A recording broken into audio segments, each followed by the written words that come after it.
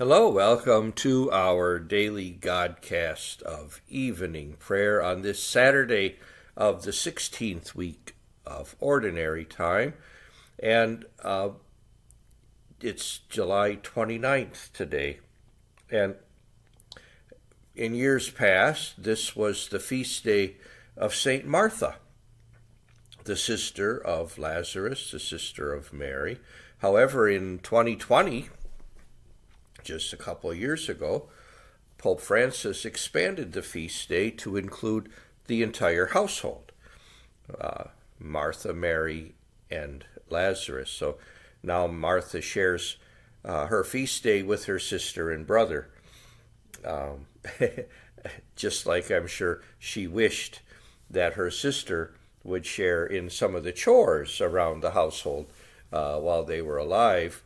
Uh, you know, now they're they're sharing uh, their their feast day together. Uh, Pope Francis expanded it to include uh, Mary and Lazarus as well. So today, the uh, feast day of Saints Martha, Mary, and Lazarus. Now these were, I mean, can you imagine the the, the privilege, the the the luck even of having as a good friend, Jesus. They called upon Jesus that he would visit their home. Uh, uh, you know, they he, they were just they were buds, right? They were good friends, and uh, how how amazing that that sounds, doesn't it? To to just have Jesus who would just pop in and say hi once in a while, or you could, you know, bump into him on the road and and hug him and, and say, "Hi, old friend, how you doing?" Um, that's just what a what a like I said, what a privilege, what a an honor uh, to to be considered a, a, close friend of our Lord and Savior. So we have the, this beautiful feast day today of friends of Jesus. In our readings from today, we, we look at uh, well, the first reading is, you know, just an account of, of the love of God and how meaningful and deep His love truly is. Um, sacrificial love, self giving, and, uh, you know, just dying for us love. And then in our gospel, we have choices today, options, uh, different stories that circle around Martha, Mary, and Lazarus. Uh, one is the death of Lazarus where Jesus comes, you know, four days, he arrives four days after Lazarus dies and still right raises him from the dead, you know, and we hear of the faith of his sisters that they believe, you know, in the resurrection. And uh, that just that depth of faith because of their relationship, their their knowledge of who Jesus is, and they they truly knew, you know, the the person that was their good friend, his his divine nature. They had an understanding of that. And I, I, think we're called to that same understanding. I think that, you know, we should also consider Jesus our friend, our companion on our journey because he's always with us and he gives himself to us affording us that opportunity to to to join him and he joins us every day if we go to mass and receive him in the holy eucharist. You know he truly can be present in our life every day. And understand that this Jesus is God himself and we have this relationship with not just a human person, but a divine person. And that's the privilege, that's the honor, that's the, the unfathomable gift that we have. And it's afforded to us the, the opportunity to be best friends with our Lord and Savior Jesus Christ, just as he was friends with Martha, Mary, and Lazarus. The other option of the gospel today is the, the retelling of that story of the uh, the instance when Jesus was at their home, and Martha busied herself with serving, and you know, and not only Jesus but his companions were there too. So she had that gift of hospitality and was preparing food and cleaning the house and setting the table and, and everything that goes into having people over at your house. While Mary sat at the feet of Jesus and listened to every word that he spoke. And when Martha complained to Jesus that her sister should help her, Jesus, I'm sure in a kind way, let Martha know that she needs not to worry so much about the hospitality end of it, although it's a very beautiful mission to be on, to be hospitable and welcoming and serving others. It's not as important as sitting at the feet of Jesus and listening to everything he says, and in trying to take those words and make them your life, applying them to everything you do and you say. And when you do that, you know, the hospitality comes as a natural part of who you are. But listening to the Word of God, as Jesus told Martha, Mary has chosen the better part, and it will not be taken away from her. So today, we celebrate friendship. We celebrate relationship. We celebrate a kinship with a divine person. As Martha, Mary, and Lazarus were so blessed to have the person of Jesus as their friend, we too endeavor to become better friends. He's already your friend. But don't you want to make him a better friend? Don't you want to hang around with him a little more? Invite him into your life on a daily basis. Hey, not even that. How about on a minute to minute basis? Every opportunity that comes up in your life where you, you know you're you're doing something, you're you're thinking about something, you're making a decision, you're encountering someone, bring Jesus along and let him be part of the you know the the uh, the situation. Let him be in on it. Let him help and guide you and and be there with you to to help form your your choices and your words and your the actions that you do. You know, allow Jesus to be with you always as your friend and confidant, and of course also your Lord and Savior. So we pray our evening prayer today and we celebrate friendship. And we look at our own friendships and we want them all to be deep and rich and meaningful, especially our friendship with Jesus Christ. Let us pray. In the name of the Father, and of the Son, and of the Holy Spirit, amen. God, come to my assistance, Lord. Make haste to help me. Glory to the Father, and to the Son, and to the Holy Spirit, as it was in the beginning, is now, and will be forever.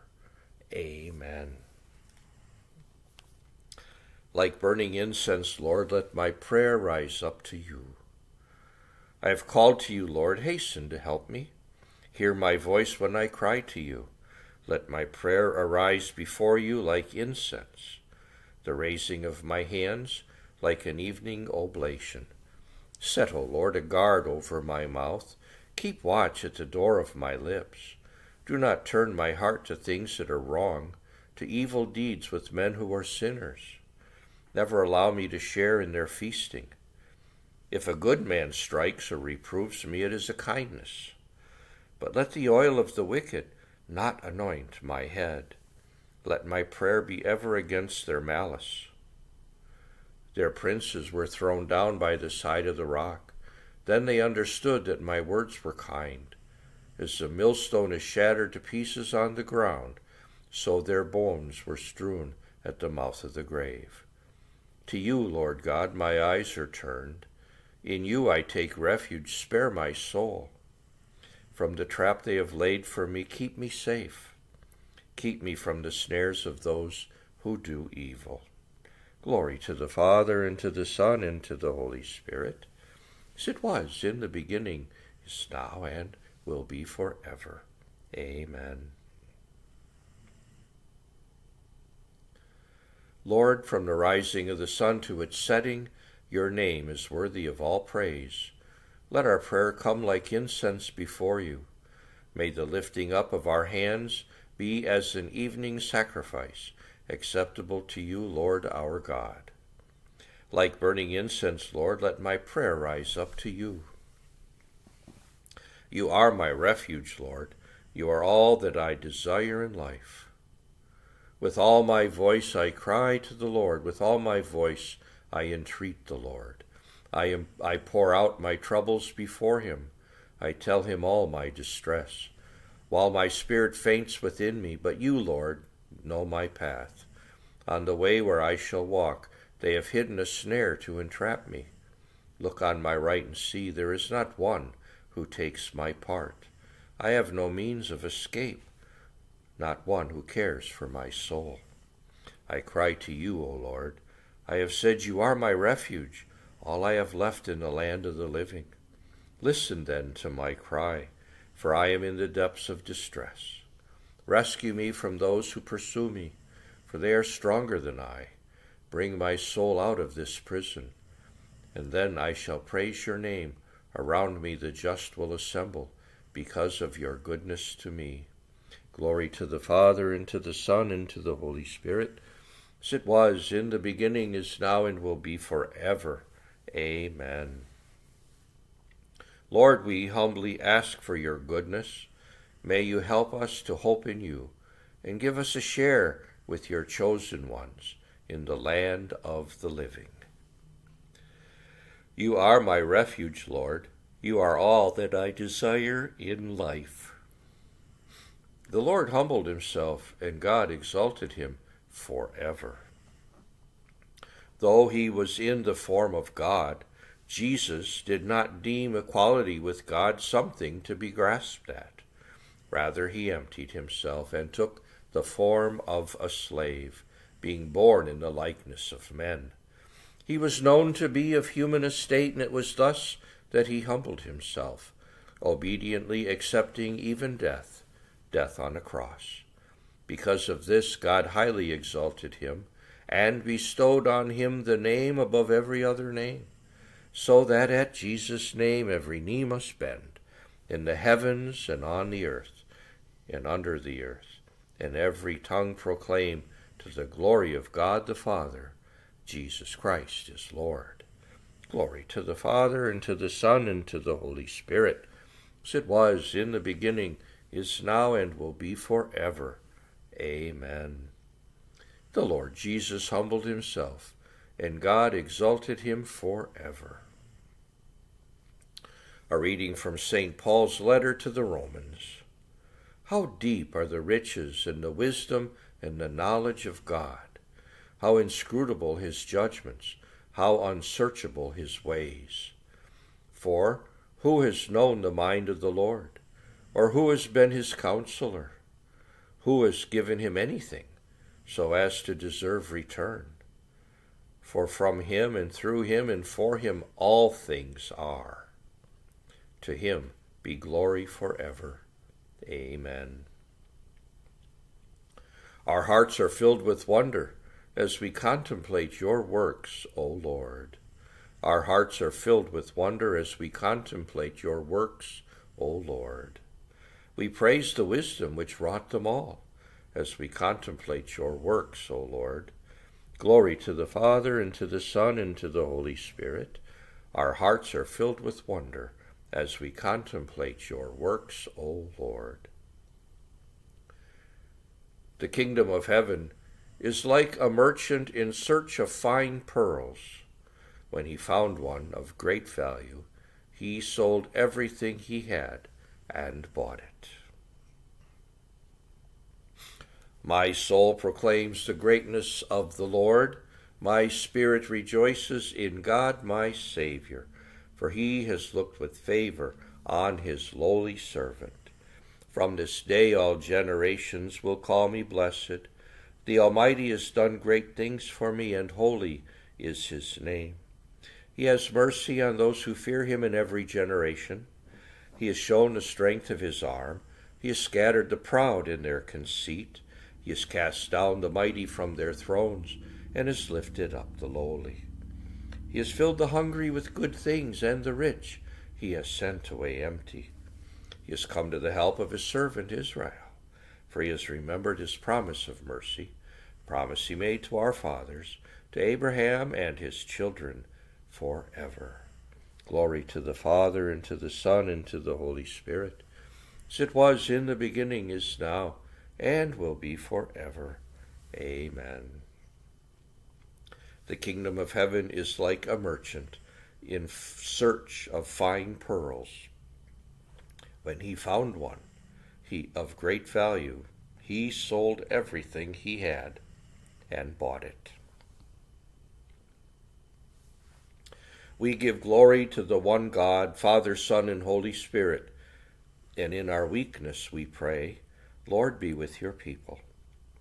Holy Lord, Father, all powerful, let justice spring up on the earth. Then your people will dwell in the beauty of peace. Lord, be with your people. Let every nation come into your kingdom, so that all people will be saved. Lord, be with your people. Let married couples live in your peace and grow in mutual love. Lord, be with your people. Reward all who have done good to us, Lord, and grant them eternal life. Lord, be with your people. Look with compassion on victims of hatred and war. Grant them heavenly peace. Lord, be with your people. Gathering our prayers and praises into one, let us offer the prayer that Christ Himself taught us. Our Father, who art in heaven, Hallowed be thy name, thy kingdom come, thy will be done on earth as it is in heaven. Give us this day our daily bread, and forgive us our trespasses, as we forgive those who trespass against us. Lead us not into temptation, but deliver us from evil. Amen. God our Father and Protector, without you, Nothing is holy, nothing has value. Guide us to everlasting life by helping us to use wisely the blessings you have given to the world. We ask this through our Lord, Jesus Christ, your Son, who lives and reigns with you and the Holy Spirit, God, for ever and ever. Amen. May the Lord bless us, protect us from all evil and bring us to everlasting life. Amen. And may Almighty God bless you all, Father, Son, and Holy Spirit. Amen. Have a great night. Have a wonderful weekend, everyone. And uh, we'll see you all tomorrow.